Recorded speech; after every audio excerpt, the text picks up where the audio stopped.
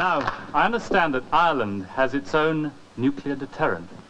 The name, Dominic Behan.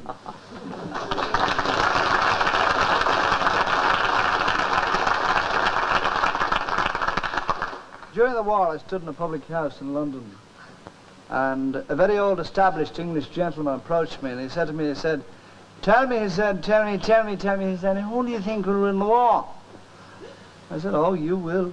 Beyond a shadow of a doubt, you will. Oh, he said, jolly good, sir. He said, tell me, he said, why do you think, sir? I said, well, you nearly beat us. Here's a song to prove that we did win a battle on English ground. 1869 being the date of the year, those Waterloo sportsmen and more did appear to gain the great prizes and to bear them a war, never counting on Ireland and Master McGrath. On the 12th of December, that day of renown, McGrath and his keeper, they left Lurgan town. A gale in the channel it soon drove them o'er. On the 13th they landed on England's fair shore. And when they arrived there in big London town, those great English sportsmen all gathered around. And one of them laughs with his scornful ha saying, Is that the great dog you call Master McGrath? And Lord Lurgan stepped forward, he said, gentlemen. If there's any among you has money to spend, for you nobles of England, I don't care a straw.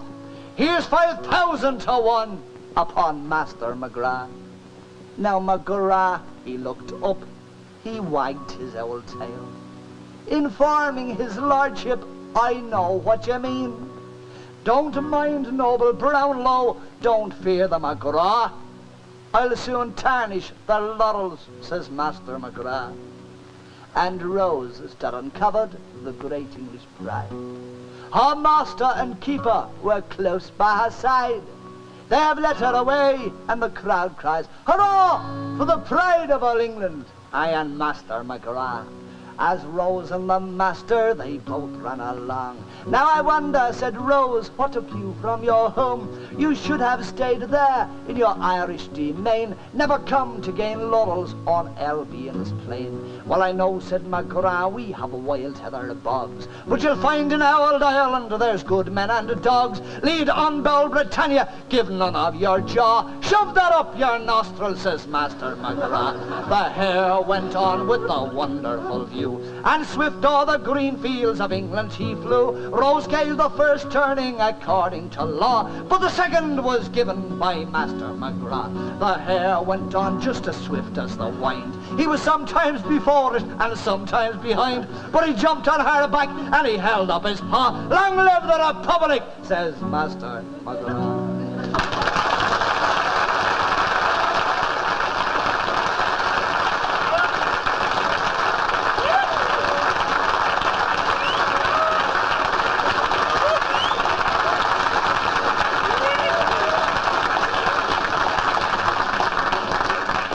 In Spain, they court their women with the guitars.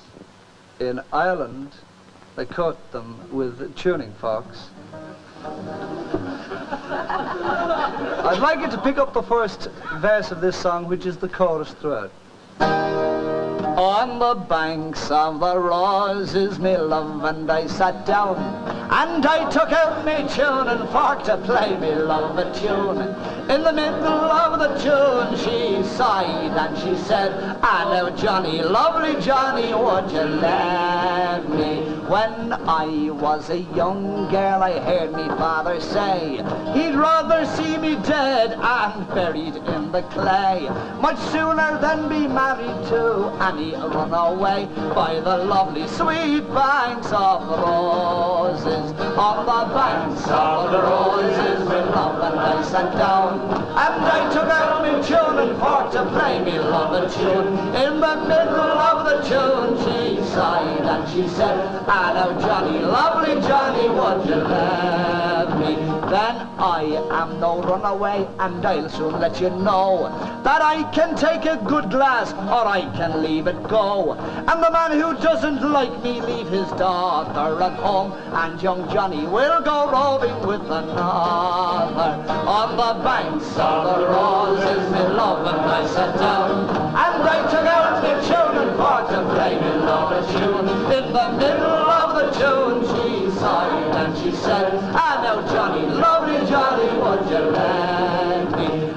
When I do get married, it will be in the month of May, where the birds are all singing and the flowers are all gay, where me and me true love can sit and sport and play by the lovely sweet banks of the roses, on the banks of the roses.